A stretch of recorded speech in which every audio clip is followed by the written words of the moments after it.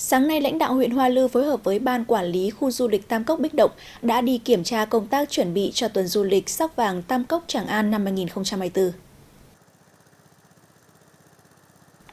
Đoàn đã tiến hành kiểm tra thực tế tại cánh đồng lúa Tam Cốc có diện tích hơn 22 ha dọc tuyến đường thủy từ Đình Các, Hang Cả, Hang 2, Hang 3.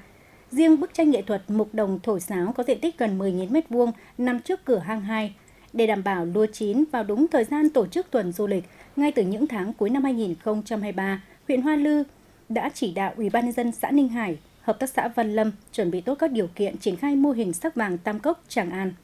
Đồng thời thường xuyên cử cán bộ kỹ thuật xuống hướng dẫn xã viên chăm sóc phòng trừ sâu bệnh cho lúa.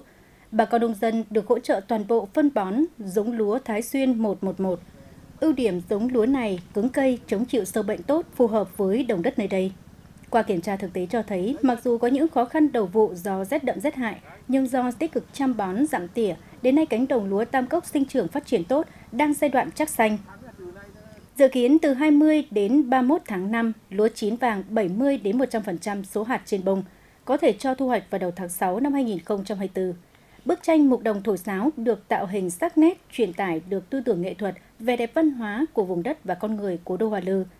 Để đảm bảo tổ chức thành công tuần du lịch Ninh Bình, lãnh đạo huyện Hoa Lư yêu cầu xã Ninh Hải phối hợp tốt với ban quản lý khu du lịch, động viên bà con nông dân tích cực thăm đồng, chăm sóc tốt, đảm bảo lúa chín đúng thời điểm. Bên cạnh đó, cần quan tâm làm tốt công tác an ninh trật tự, vệ sinh môi trường, an toàn giao thông, khẳng định thương hiệu điểm đến an toàn, thân thiện, chất lượng để lại ấn tượng mới cho du khách trong nước và quốc tế.